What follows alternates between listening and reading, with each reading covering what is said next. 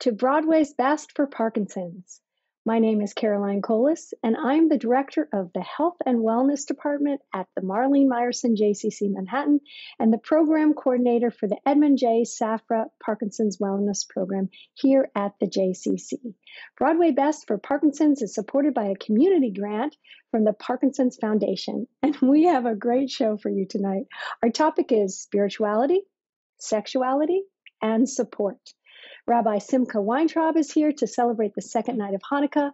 Cognitive hypnotherapist Suzette Shahmoon will join Dr. Di Rocco to talk about intimacy. Chris Jones and his wife Mary Beth will join us to talk about how they chose assisted living for Chris. And Pamela Quinn is going to get us all moving.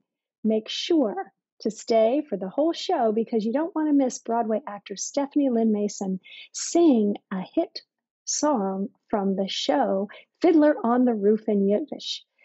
And if you have any questions while you're watching tonight, please put them in the chat and we'll do our very best to answer them. And now I would like to introduce to you my friend and co host for this evening, Dr. Alessandro Di Rocco. Alex as he prefers to be called, is here. He's uh, zooming in from the hospital on the east side. For those of you who may not know him, Alex is a much loved and world renowned neurology specialist. He's the director of movement disorders for Northwell Health here in New York City. And he is actually the reason our Parkinson's program started here at the JCC. He lives across the street from our building on 76th in Amsterdam. And 16 years ago, he had this eureka moment about creating a PD program at a community center where people could exercise and take classes surrounded by a caring community. So he approached our CEO, Rabbi Joy Levitt, about this idea, and our program was born. For those of you who want to participate, it's open to anyone. Um, We'll put some information in the chat and you can sign up and join us. Welcome to the show, Alex. Thank you for joining me tonight. Thank you, Caroline. it's always a pleasure. Um, as I was mentioning to you, being part of this community has really been a, an extraordinary adventure for me, and uh, um, and uh, an addition to my personal and professional life beyond what I ever imagined it would. And you know, I know you've had a long day at the hospital, so I am so glad that you're here to celebrate Hanukkah with us. Our, our first guest is Rabbi Simkha Weintraub, and he's been a part of our JCC program since he was diagnosed with Parkinson's eight years ago. But I don't think you met him. I think you just met him for the first time tonight. He's a social worker as well as a rabbi, and he retired in 2020 as the rabbinic director of the Jewish Board of Family and Children's Services, where for 25 years he led the Jewish Healing Center. We're going to talk tonight about spirituality and how it's guided his PD journey a bit more. But since tonight is the second night of Hanukkah, and I doubt there's candles there at the hospital, I thought it would be great for those that celebrate the holiday that we do an opening. Our opening meditation be the lighting of the candles tonight. Simkha, welcome to Broadway's Best. Thank you so much for inviting me. Can you, Alex and I are going to turn off our cameras. Would you share with our audience briefly about the importance of why Jews all over the world light the menorah as part of the Hanukkah celebration, because some of our viewers are not Jewish and they might want to know. And would you be so kind to just take us through the candle lighting ceremony as well? Be happy to. Thank you. Back in the year 168 BCE, the Greco Syrian king Antiochus Epiphanes sent his soldiers to Jerusalem they desecrated the temple there, which was the heart and the holiest place for Jews at that time. Antiochus also abolished Judaism, outlawing the observance of Shabbat and festivals, as well as circumcision. Altars and idols were set up for the worship of Greek gods, and uh, the Jews were offered two options conversion or death. On the 25th day of the Hebrew month of Kislev in that year, the temple was renamed for the Greek god Zeus a Jewish resistance movement led by a priestly family known as the Hasmoneans or the Maccabees, um, developed against the cruelty of Antiochus. The head of the family was Mattathias, an elderly priest, whose son Judah became the chief strategist and mil- military leader of the resistance. Though greatly outnumbered, Judah Maccabee and his fighters miraculously won two major battles, routing the Greco Syrians decisively. So Hanukkah evokes images of Jewish valor against overwhelming odds. But the holiday powerfully represents the refusal to submit to the religious demands of an empire practicing idolatry, the struggle against total assimilation into Greek culture and the loss of Jewish identity, and the fight for Jewish political autonomy and self determination. It reaffirms the rights of the minority against the oppression of a majority, right over might. The famous story, the one that children especially appreciate, is that the Maccabees found only enough oil to light the temple menorah for one day, but it miraculously lasted for eight. That is why Jews worldwide and for many centuries have lit the Chanukiah, which is behind me, for eight nights, starting with one and gradually increasing to eight. The candle lighting is intended to be very simple. One short blessing before the candle lighting expresses our sanctification through the obligation to light the Chanukiah, and then a second short blessing as you actually light the candle that appreciates the miracles wrought for our ancestors in those days and at this season. So I'll uh, continue with lighting the Chanukiah. The menorah has seven branches, whereas the Chanukiah has eight.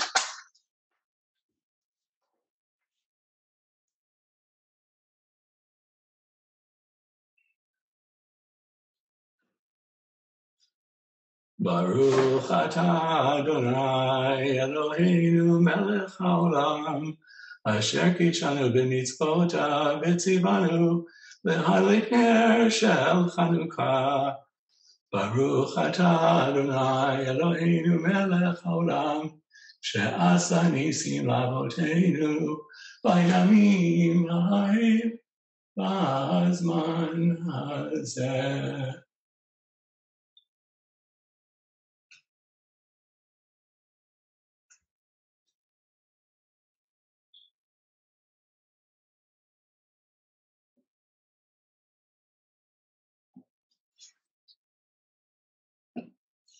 Thank you.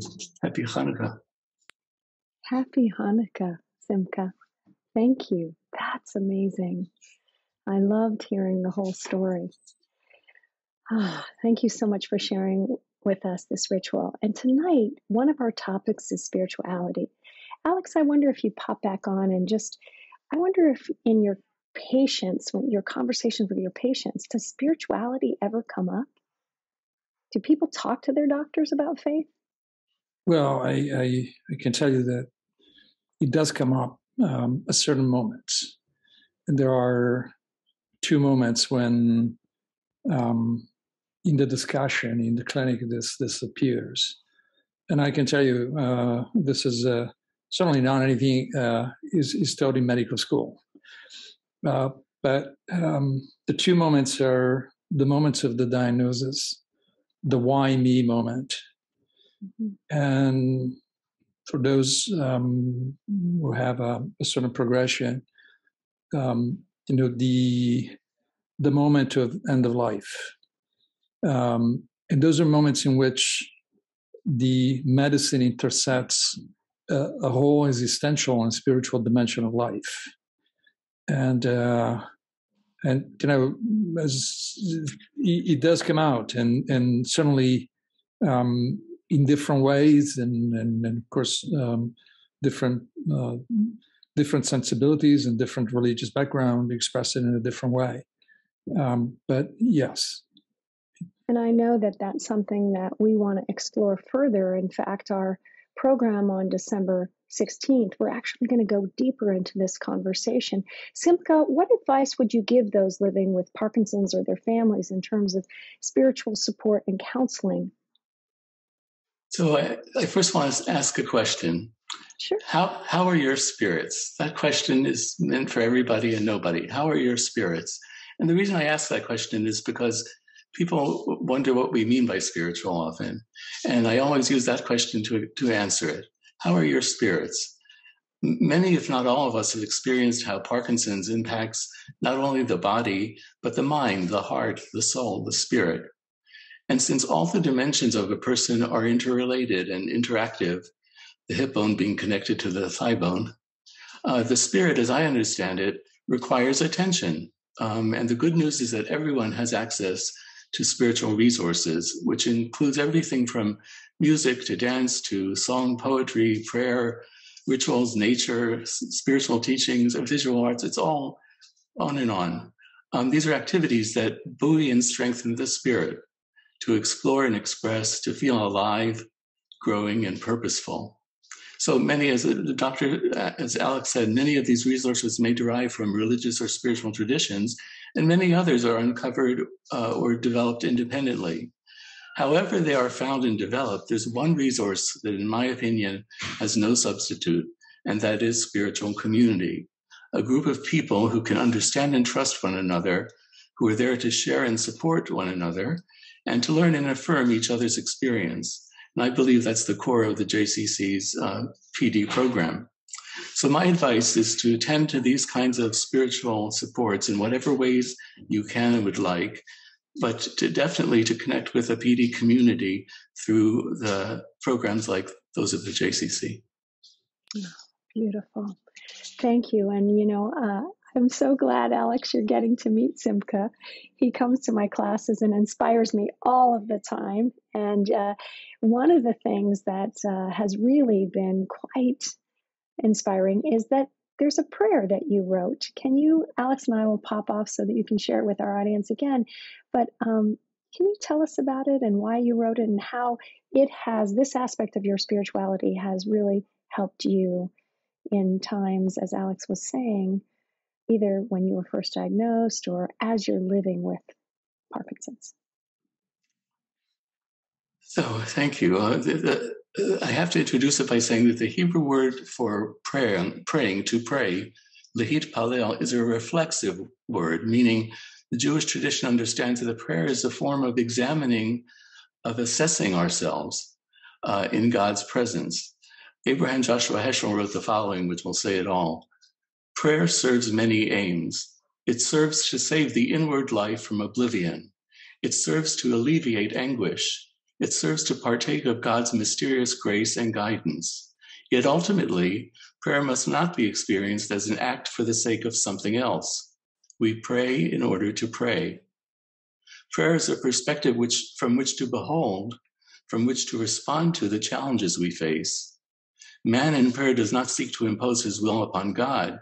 He seeks to impose God's will and mercy upon himself. The primary purpose of prayer is not to make requests. The primary purpose is to praise, to sing, to chant, because the essence of prayer is a song, and man cannot live without a song. Prayer may not save us, but prayer may make us worthy of being saved. So I wrote my prayer a year, about a year after I was diagnosed with Parkinson's, uh, because I needed it. Um, uh, I had, I already was showing symptoms while my father was dying at the year before the age 94, uh, and I needed to be able to speak my experience and express my hopes, fears, gratitude, yearnings, and more. And be- so before I, I share the prayer, I want to point out that the beginning, at the beginning and at the end, there are two phrases that I took from the Hebrew prayer book from the 15 blessings that are said towards the beginning of the Jewish morning prayer service. Um, the first of those blessings thanks God for the crowing of the rooster, meaning the, the alarm clock.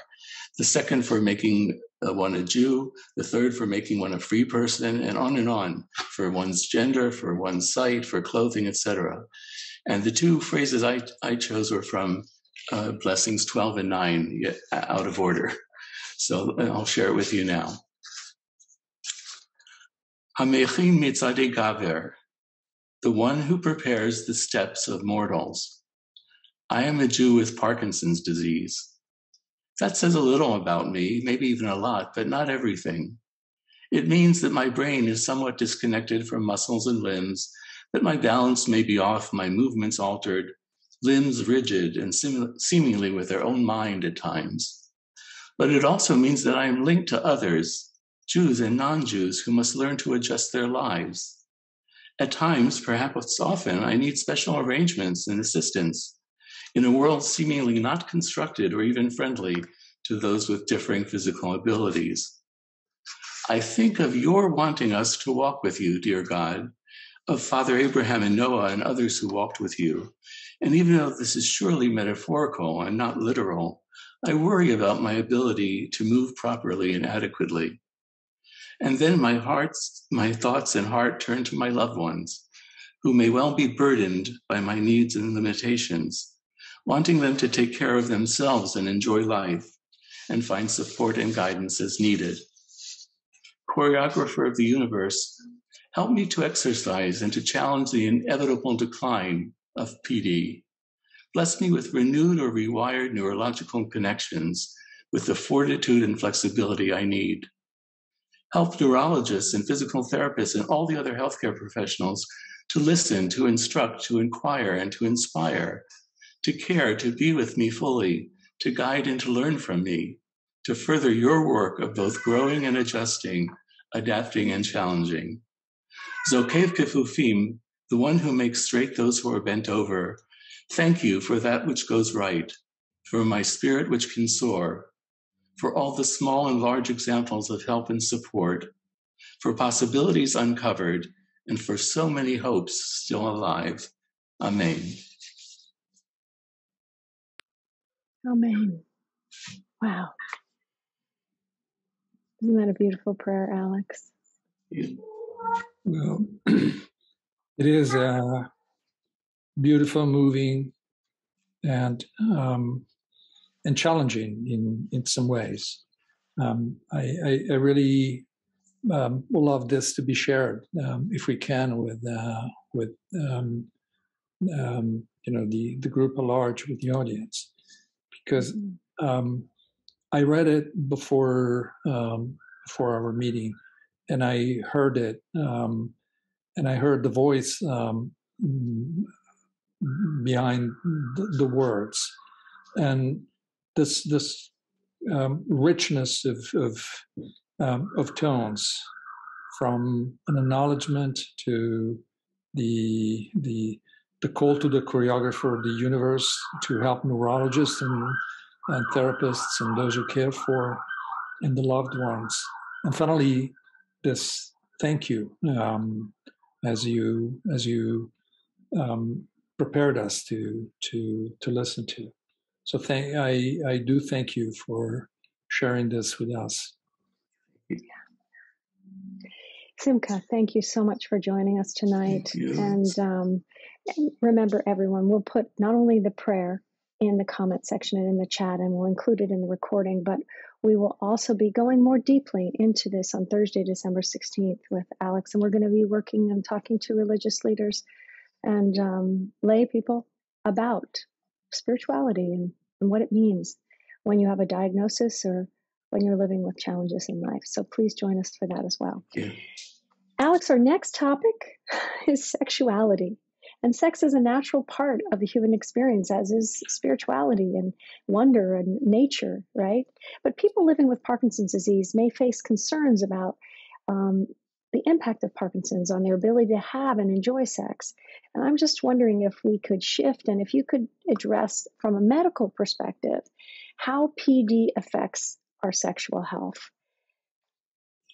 Um, yes, it is an important part of, uh, of human experience.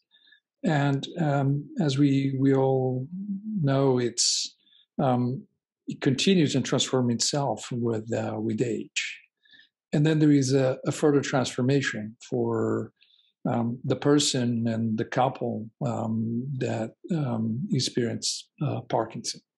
So there are some very specific sort of medical elements uh, to this um, related to the, the, the the biology of the disease and related to this um, the dopamine. You know, is the culprit of uh, of everything uh, within the brain so as we know, there is diminished level of dopamine in the brain, and dopamine is uh, the, the the sort of the, the neurotransmitter related not just to movement but also to reward and enjoyment and engagement and pleasure.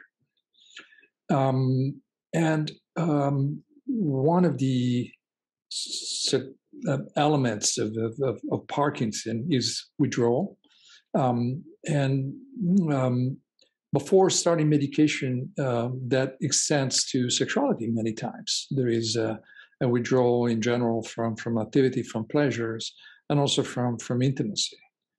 There is, however, um, a common transformation that occurs when medications are started, that there is a reactivation of this um, sexual desire.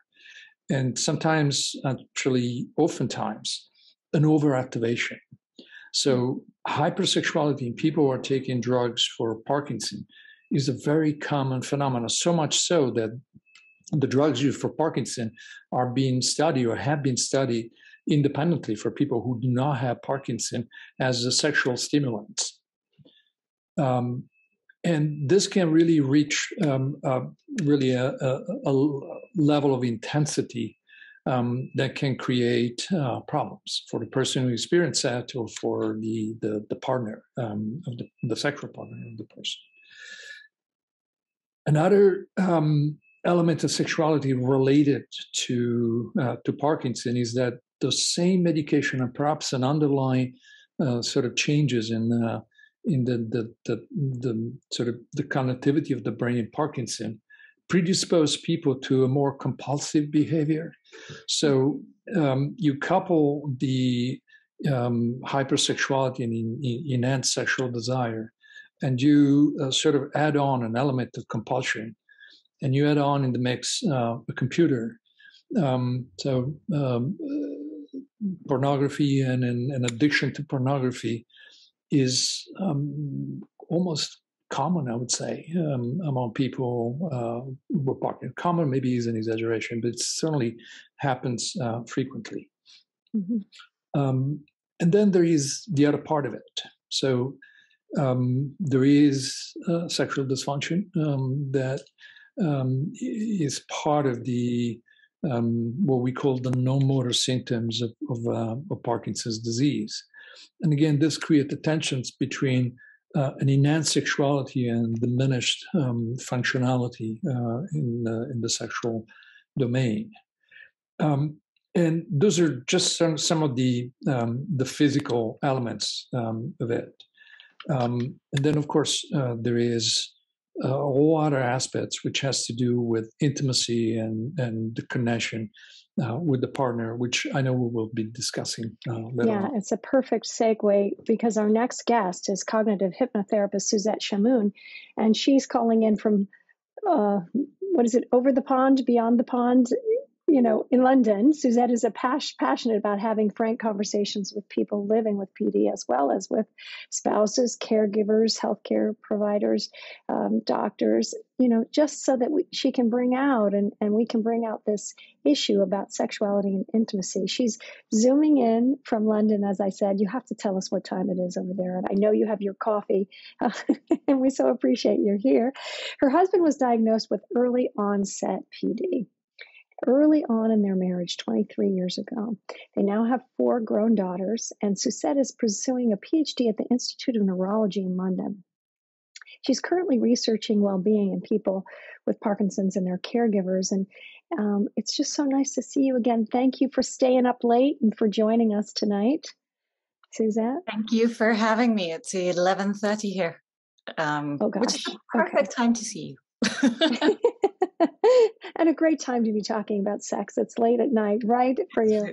Um, uh, I I'm going to actually let the two of you have a conversation, and then I'll pop back in. And Su- Suzette, if you could, there's kind of there's sort of four or five basic areas that you want to cover tonight with Alex. If you could uh, talk about those a little bit, and then um, uh, have a discussion with Alex. Thank you so much, Caroline. Um, yes, as you said, I, I, don't know about for you, Alex, but for me, when I'm working with clients uh, who come to me with their sexual issues and eh, issues pertaining to um, intimacy, I find that there tend to be five different areas which we cover. The first being attraction, the next being frequency, which you've already covered when you talk about, you know, the, those ICDs, those impulse controls issues um, function being another one. Um, the effect on the relationship, on on the relationships, how people connect to each other is another one. And then they always ask me about coping skills. Do you find you've got the same thing in your in your practice? Well, I I certainly think you you articulate or you you dissect uh, the issues about sexuality in a um, in in a very um, uh, structured way. Um, and certainly, I um, think you cover all the the key points that emerge um, in uh, in the issue of sexuality in Parkinson. Yeah, so if we were to look at each one of those briefly in the time that we've got, I think the first one that that people tend to come to me with because I, I, don't know about you but with me as a therapist it tends to start with attraction um, because they want to ease into the conversation. I don't know maybe it's a british thing no sex we're british. Um, and i find very often uh, uh it will start either the person with pd or the care partner. Sometimes i'll see them together sometimes i'll see them apart but it will always start with uh, uh, either they're not attracted to each other anymore or they struggle with attraction feeling attractive and that affects their relationship. And i know that um, i see it a lot with people with pd when they've got a lot of dyskinesia or they're off that they don't feel attractive. Or as they're aging there's also that aging process which can affect attraction. And again you throw pd into the mix it's hard. But care partners as well and I, and I count myself in this as well having experienced this um, do you ever find that that comes up in your in the room with you yes it does come up and does come up in in an unusual way I'll, I'll i always like to to relate narratives and any, any examples and uh, a close examples is um, is a is a patient who asked for treatment for the excess saliva, uh, which is a common problem uh, in Parkinson. Um, and the main motivation was that he felt that um, um, his, his, his sexual partner was um, was um, repulsed by the excess saliva and had manifested that and had pulled away and had, had moved away. Um, this talks to some of some of the the issues that, that you mentioned. So on one hand, the person with Parkinson may feel um, less attractive, uh, may feel that is uh, sort of um, you know the, the the transformation of the body or or are, are such that um, denies the, the, the the you know the, the the appeal or remove whatever uh, created in terms of sexual appeal. It's also true, and this sometimes is true. Um, sometimes there are um, partners um, uh, who have told me, uh, especially in the situation of hypersexuality, that they just don't want to have sex anymore uh, with their partner. And sometimes it's because they are um, not attracted um, to the partner anymore. Many times it's because also there is, especially in more advanced cases of Parkinson, there is this kind of overlapping role of uh, um, caregiver and and spouses or partner uh, and sexual partner. And and at the end of a day in which uh, a person may have been helping showering or bathing and so on um, the the the reacquisition of a, the identity of a of a partner and a sexual partner is is just lagging. Um, but this is is is a real issue um, and sometimes, many times, is an unspoken issue, and, and I think creates um, sort of a growing um, tension. I'll, also give another example of um, um, a person, uh, a care partner, a spouse, um, who felt that the the the sort of the um, the lack of attraction uh, was was due to um, what what I discussed briefly. You know, sort of not necessarily the physical transformation, but the psychological transformation and the the, the transformation of a person um, who is no longer recognized as a, as a partner in psychological terms more than physical terms. Absolutely. There is that shift in almost like the balance of power within the relationship. And it's trying to bring that back into the relationship as much as possible. And I find that very often there is, uh, particularly when you relate it to attraction, even if, if you're not discussing what's going on for you that again that creates that divide and, and intimacy is not just about physical intimacy isn't it? it's about emotional intimacy and the more we encourage people to to discuss these issues. I mean i had um i had a gentleman who came to me once and he said he was struggling because he his wife had parkinson's and he couldn't he couldn't bring her to orgasm anymore. She was struggling to orgasm. And he said he just he didn't feel attracted to her anymore because he felt like he was using his wife and he just didn't want to be that kind of husband. It was never sex for him was always about this mutual experience and the fact that it was no longer mutual. It it created a divide and that divide started playing out in their marriage as him being her care partner her caregiver. And it, once they started discussing this she you know she turned around she's like you know honey i am I, I don't care about the orgasm. I want to be touched. I miss physical touch. And if you don't give me that, then you're you're solidifying the fact that I'm your patient now and I'm no longer your wife.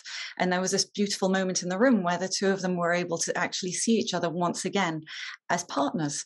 And it's it's about bringing those conversations back between partners. I find. Yes.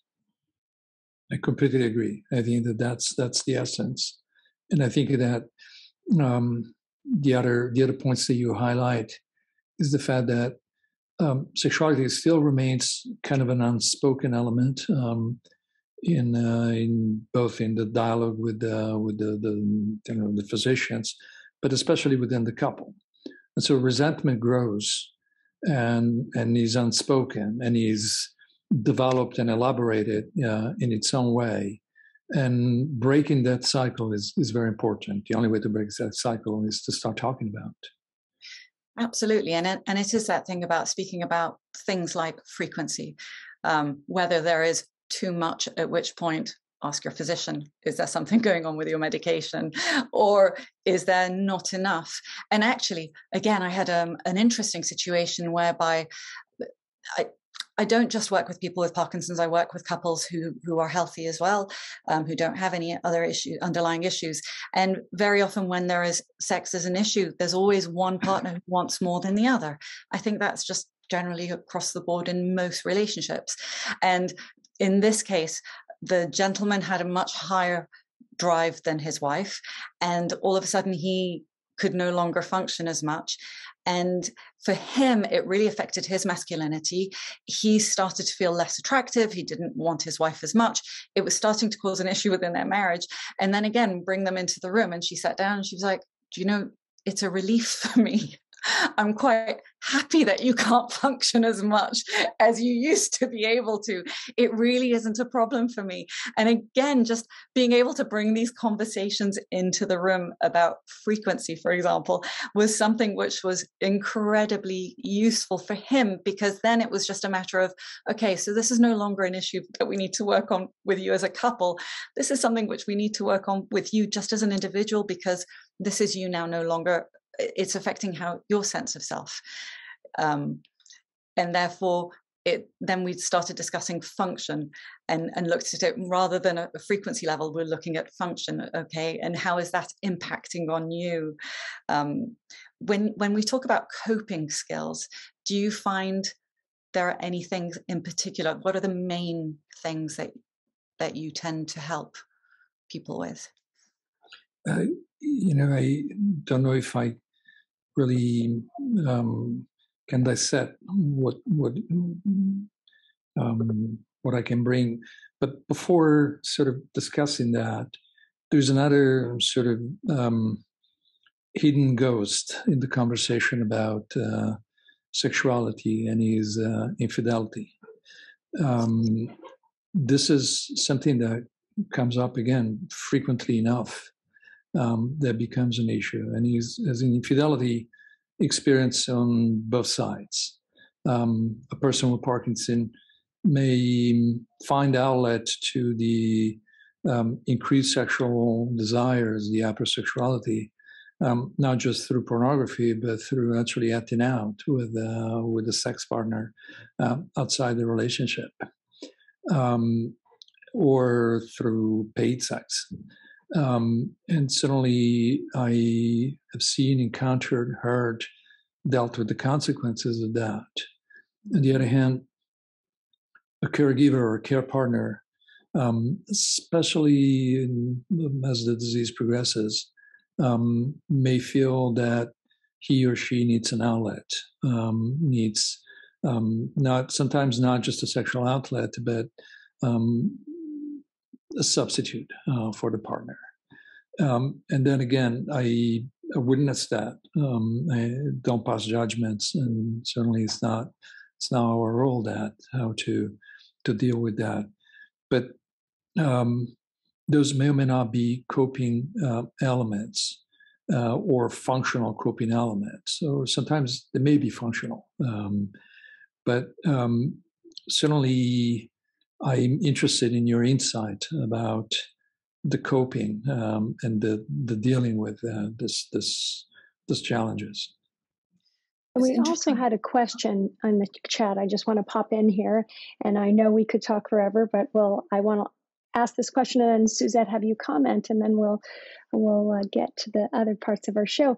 Um, there's a question from Carlo who says, "Are women on PD meds as affected in terms of hypersexuality as men?" Uh, the answer is yes, um, except that sexuality is manifests differently in, in, men and women. As I think as we age, also there is a there is different expression. But yes, uh, um, uh, I've seen and witnessed uh, the the the effect of uh, the this this the medication, so the combination of medication and Parkinson in women's sexuality or men's sexuality. I must say, I was I was mentioning that in our preliminary meeting before this, um, that um, I probably am biased in my observation because um, mostly are men who discuss sexuality with me, and I think there is a gender issue. Um, I imagine that um, um, female colleagues, women, will feel more comfortable talking about sexuality with uh, with another woman. Um, so I, I, I, may experience, I may be biased. I certainly witness much more frequently men, but that's may just be because it's more likely that a man confides to me about sexuality than a woman would. Beautiful. And Suzette, can you just finish our conversation on sexuality with your thoughts on on what Dr. Di Rocco was talking about, what Alex was talking about in relationship to coping, and if you have some insights for that. I think with coping, everything is going to be so unique to the couple. There are going to be some couples where absolute honesty is going to bring you closer. It's going to help you to, rather than isolating yourself away from each other and dealing with the issues that you've got on your own, sometimes it's easier to face the challenges together because at the end of the day, this isn't you, it's not your partner, it's Parkinson's and it's happening to both of you. But interestingly, um, I spoke to a woman recently who had suffered with hypersexuality due to her medication. And for her, the one thing she said that saved her relationship was not being honest. And she said her partner knew that she had she she left her partner for a year with the children and she went off and explored and she said the one thing she doesn't he doesn't want to know is what she did in that year and the one thing she doesn't feel she needs to share is what she did in that year. And so it's always going to be about recognizing when it's appropriate to be honest and when it's not. But just bearing in mind that intimacy, emotional intimacy, underpins physical intimacy. And so when it comes to coping skills, it's about having those conversations with each other. First of all, exploring it for yourself, then with each other, and then speak to your physician yeah, I remember uh, Kathy Washburn, who I interviewed. She said intimacy is into me, yeah. I see. Beautiful. Thank you so much for sharing and talking openly with us about sex and intimacy. Um, thank you, both of you, for sharing your um, this discussion and uh, Suzette, for sharing your journey as well as your work. Um, I'm going to have you both take a little break right now, and we're going to have a little entertainment. Stephanie Lynne Mason is going to be our next guest, and she is a New York based actress, singer, and her career has spanned national tours and Million Dollar Quartet and numerous regional theater productions across the country. She made her Broadway debut in the 2000 2015 Tony nominated revival of Fiddler on the Roof, directed by Bartlett Sher in the ensemble, and also covering The Principal Daughters, then Fruma Sarah, and Grandma Tzeitel. She was most recently seen as Hodel in the critically acclaimed production of Fiddler on the Roof in Yiddish, and this was directed by Joel Grey off Broadway at Stage 42. This role has got to be her favorite to date because it was here that she met her now fiance. Welcome, Stephanie Mazel Tov. Congratulations on your engagement. What an exciting time for both of you. Now, I understand that not only are you going to sing for us, but your life has been impacted by Parkinson's like mine. I have a, an uncle, my uncle John, who I love dearly, who has living with Parkinson's. And you had uh, an uncle in your life that uh, has since passed that was affected by Parkinson's. Can you tell us about him a little bit and what you loved most about him and what Parkinson's taught you? Absolutely. Well, first of all, I just want to say how grateful I am to be here and and so, and to be part of such a vulnerable, open, beautiful program. And mm-hmm. I wish something like this would have been around when he was alive. Um, my uncle was very full of life. He loved music. He loved theater.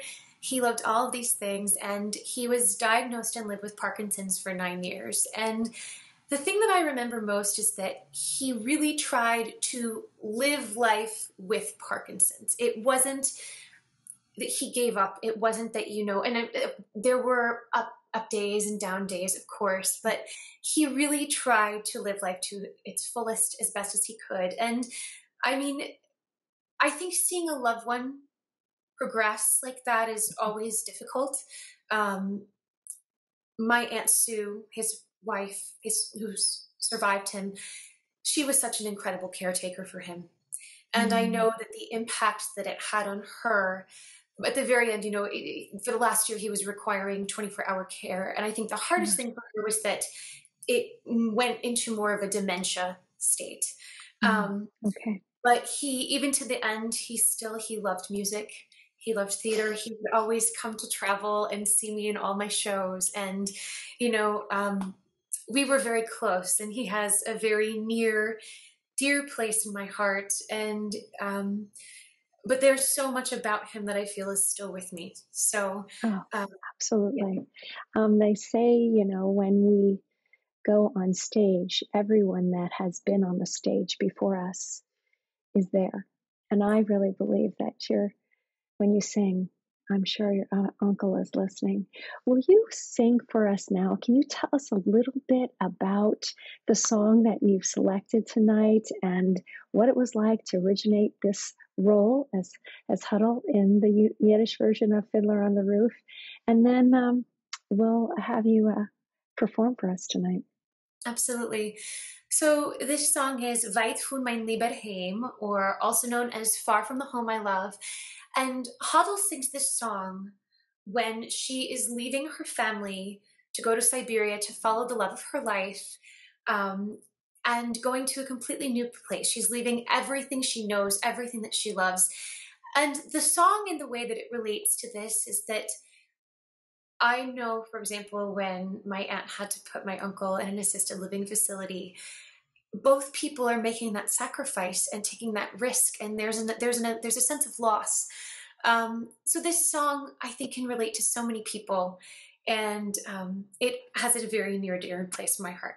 So here we go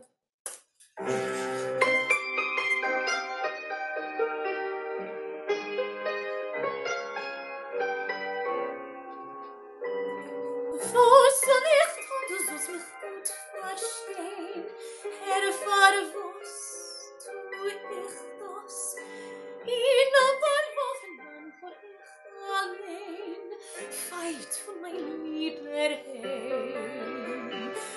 Once I was happily content to be as I was, where I was, close to the people who are close to me, here in the home I love. iets voor de stee als er voor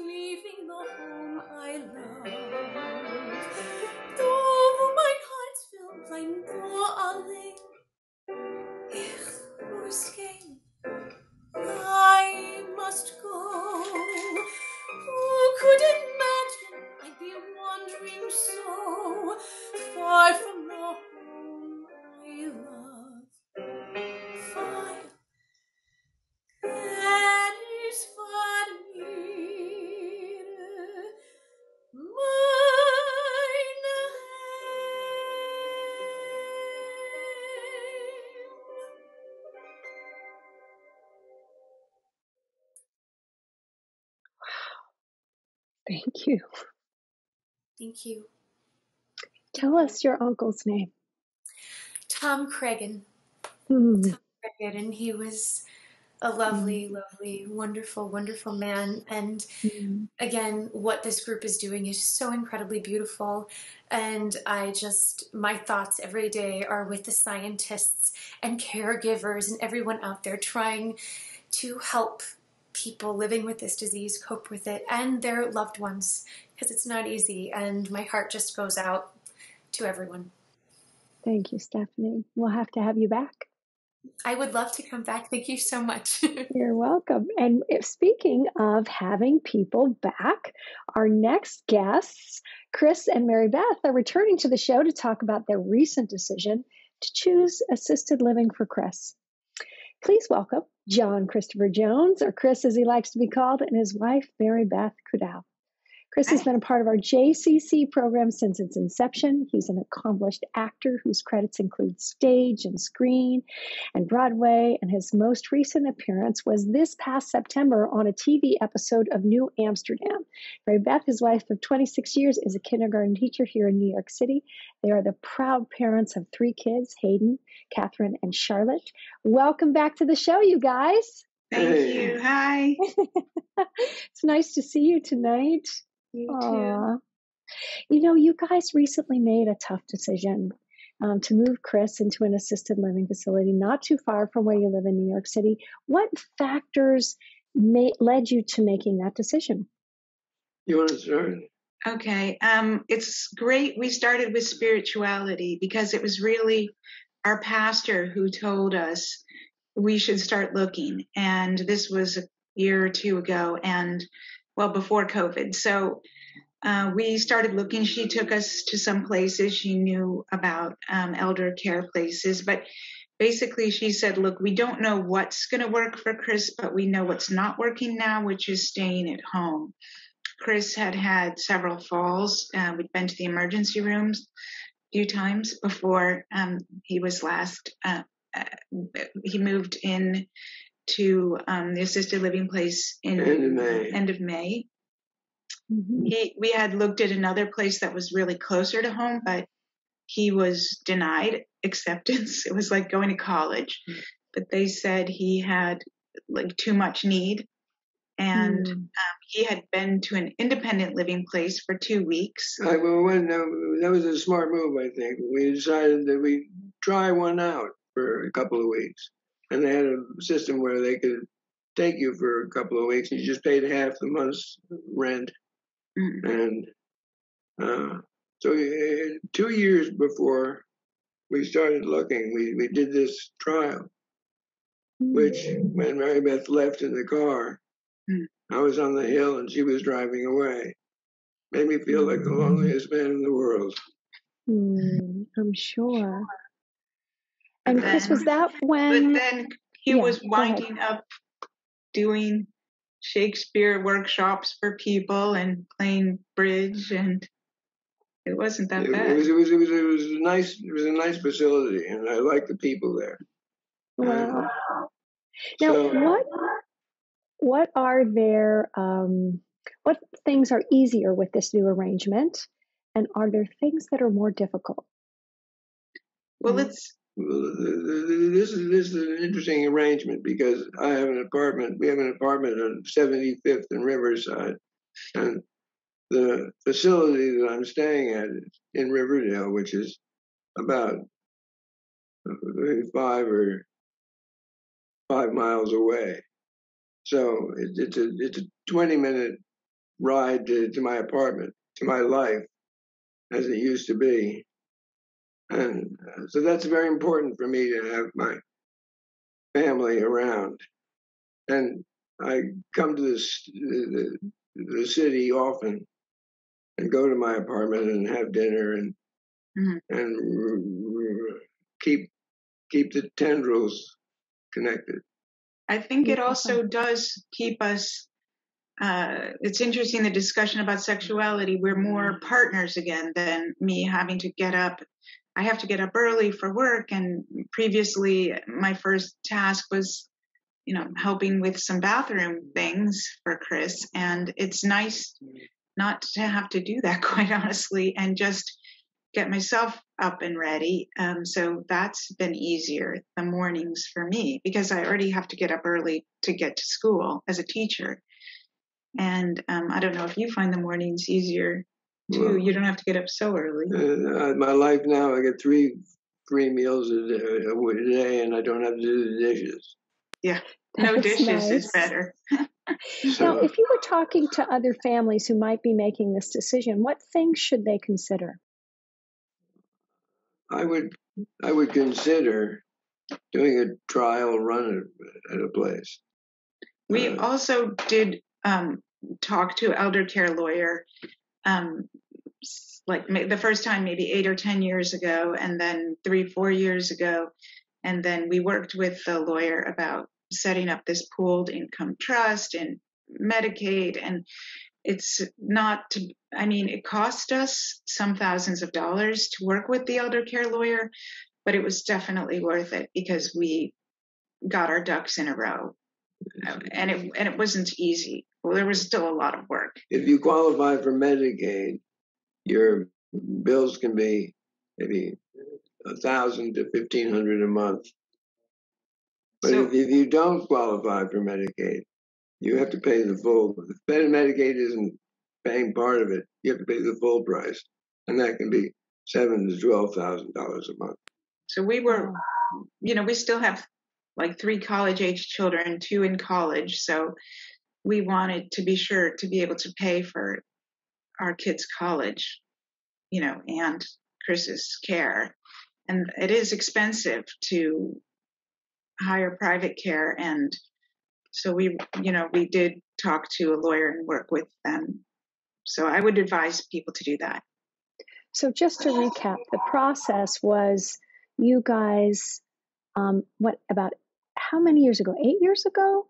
Did you with to the, the elder care lawyer? Yeah. Okay. And so you really sort of were thinking about this quite ahead of time. I'm going to bring, um, thank you so much, you guys, for sharing with us and being so open and very personal about private decisions. We appreciate how much you're sharing and with us because this is a decision that sometimes people put off. And it sounds to me like you were advised, you know, as you said, from your religious leader, from your minister, to just take a look at this. Yeah. Put your toe in the water. Put wiggle it around. awesome. Awesome.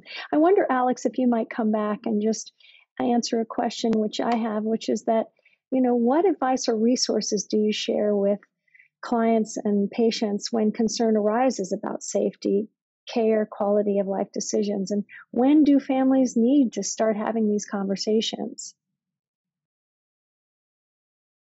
Just unmute, Alex. Sorry. I was saying that I think Chris and Mary Beth articulated and illustrating in a, in a very precise way how um, the process, when to start the process, and when and how to to go on with the process.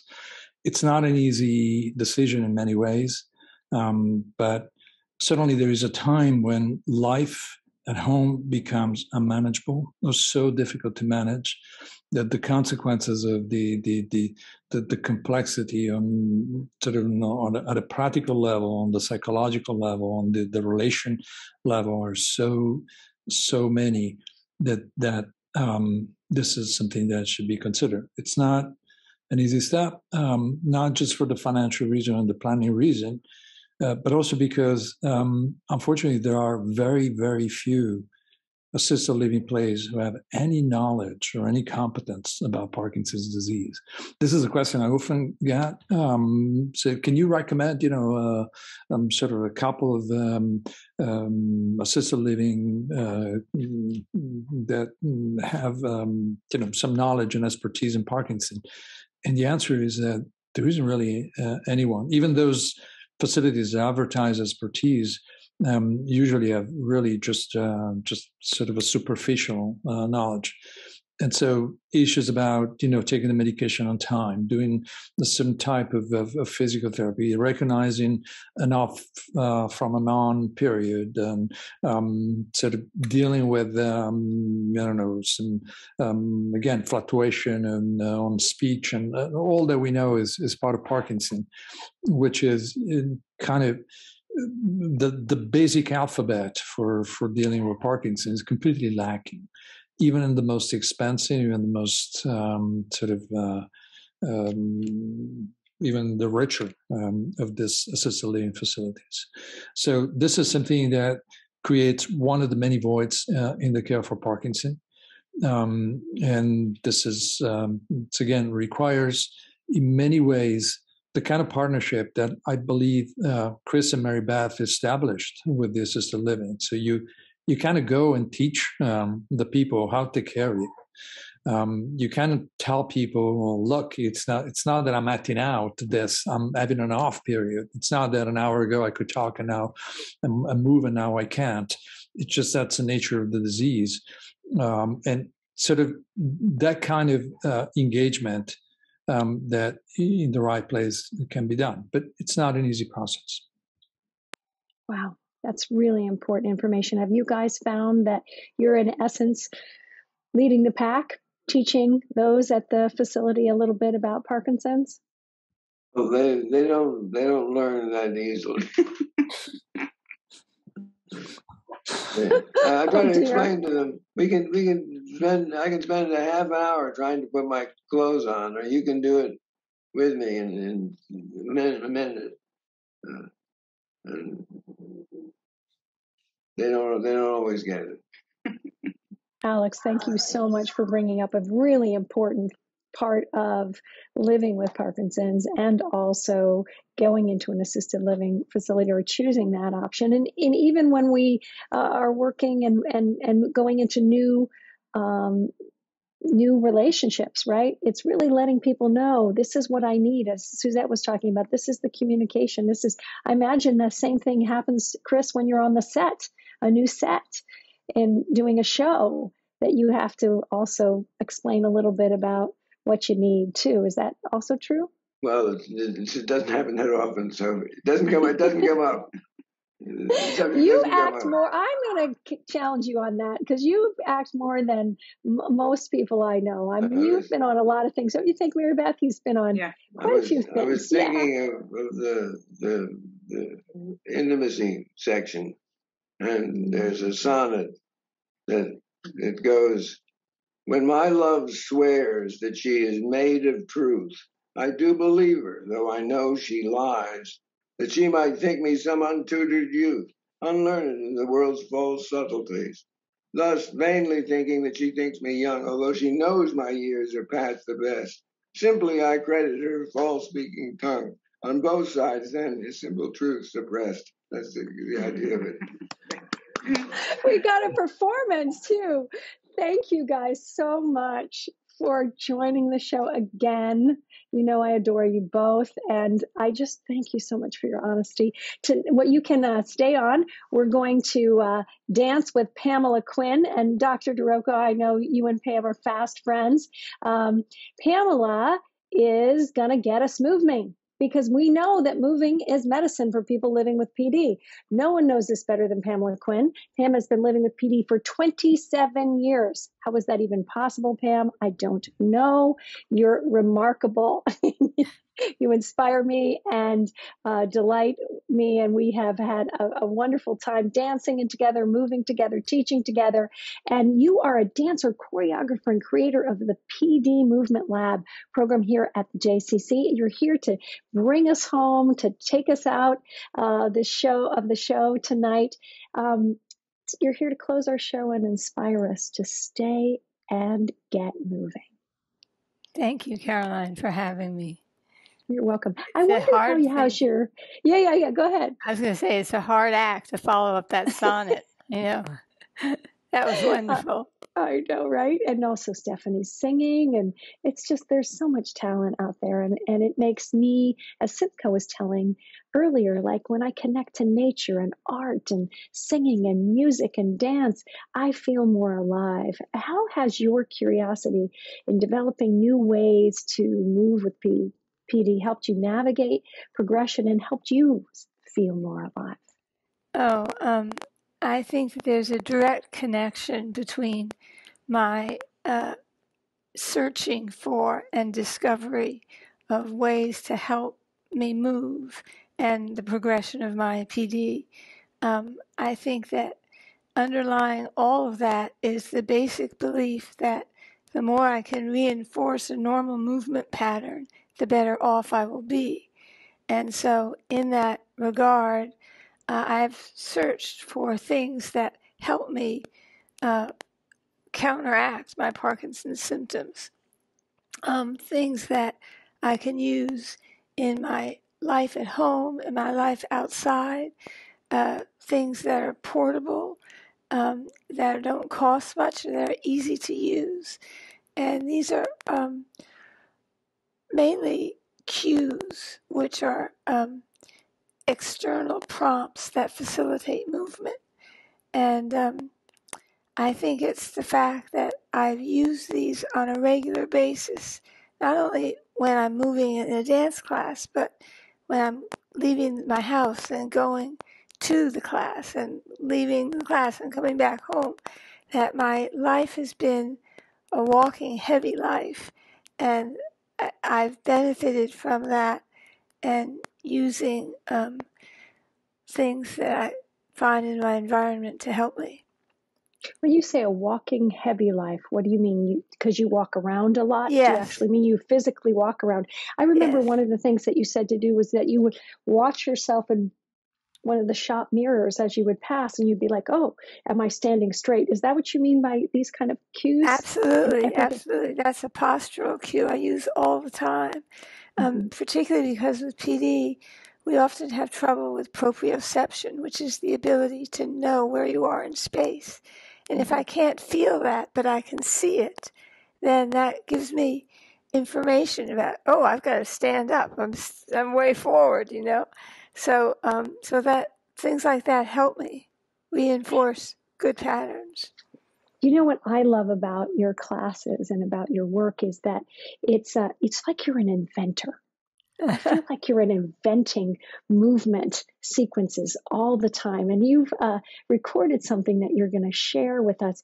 Very simple, everybody. But if you did this every day, you would improve your rotation, you would improve your core rigidity, you'd improve your uh, amplitude, the size of your movements, and it's it's only a few minutes. Do you agree? And would you share it with us? Absolutely. And just to let you know, it's for everyone. No, no previous experience required. Awesome. All right, Matt, let's take it away. Hi, I'm Pamela Quinn, and thanks for coming today. I'm going to take you through some exercises that are designed specifically to offset Parkinson's symptoms. To give you an example, People with Parkinson's often move in a collapsed and small way, and we're going to move in a big, extended way. Or to counteract rigidity in the spine and the neck, we're going to use images that help loosen our bodies up. So you should be sit- seated in a firm chair with space to the side for your arms to move. And if I do anything that hurts you, back off. Otherwise, enjoy. I'm going to change my glasses. There we go. And I'm going to change my orientation. All right. Follow along. I'll do each movement about four times. Bend your elbows, extend down, and up like a big sun. The sun is setting. Now the sun is rising. Again, extend out. And the sun comes up, spreading light all over the earth. And stretch out. In extend through the spine as well as through the arms. Way up. And twist to the back. And reach. Twist and reach. Twist and reach. Twist and reach. Extend through the leg. Other leg. Pressing through the heel, Toes are up. Reaching through the back of the leg. Reach. Now with an arm, a nice graceful bow. Lifting up, reaching out. Lifting up through the spine, stretch forward. And up one more time, reaching. And round the back, press through the chest. And round, press through the whole spine. And round, press through and round, press through. Now you're going to wag your tail like you're a little dog, happy dog. Now let that reverberate in the spine, the shoulders, and the head and the neck. Become a very happy dog. Let it go. Now we're going to pretend we're in a carriage ride, a bumpy one, because James Parkinson said his patients always did better after they rode in a bumpy carriage ride. Uh, you can use your voice to check it it's bumpy. And let that die down. Stretch one leg out, one arm out, other leg, other arm, and reach. All the way, stretch top to bottom.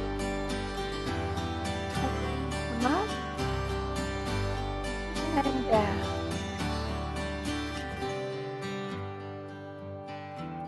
and reach out all the way and up through the spine as the arms come down. Thank you. Wow, that was wonderful. I hope everyone out there was stretching and dancing with us. Pam, thank you so much. That was oh, my great. pleasure. Thank you. um, Alex, did you want to say hello to Pam? I always find that Pam is uh, both uh, a very a great inspiration and also someone who turns with a great smile the the the the awareness that she finds into into lessons that help um, those who have Parkinson and those like me who work with Parkinson. I, have learned so many insight, and I learn how to think differently. Um, thank you to Pam. I so, have one for you, Alex. This is for facial masking. this is great. this is I do to keep myself from smiling. Otherwise, I go frown. this is I. I love it very much. Okay, yeah, that's right. All right, where's mine? Oh, I don't. I'll have to use my finger. there you go. See, right, you're inventive too. Alex, yeah, that's Pam's thank, genius. yes, I know it's really true. Alex and I want to thank every one of our guests. If you're here, come back on the show. Feel free to unmute and say goodnight. Remember, there's no need to face PD alone. We're here for you. The Edmund J. Safra Parkinson's program, the JCC, is easily accessible at www.mmjccm.org forward slash Parkinson's.